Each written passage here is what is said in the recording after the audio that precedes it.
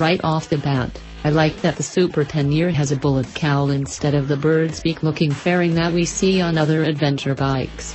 It has that upright riding posture that makes long trips in the saddle more comfortable. Maybe not as comfortable as the rolling easy chair ride of the Goldwing or Electra Glide, but then it's not intended for the same type of journey. Even though the Super Tenere is off-road capable as far as adventure bikes go, keep in mind that this isn't meant for hardcore off-roading. Compared to what I consider a dual sport bike, adventure bikes are big and heavy, think of it more as a dual sport tourer. The Super Tenere comes with off-roadish features such as a skid plate, handlebar brush guards, and the adventure bike suspension that gives you a bit more wheel travel than a street-only bike.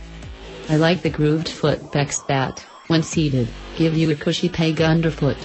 When you get into more technical riding and you stand up, the cushioning compresses under your weight and gives you more sure footing on the underlying metal pegs.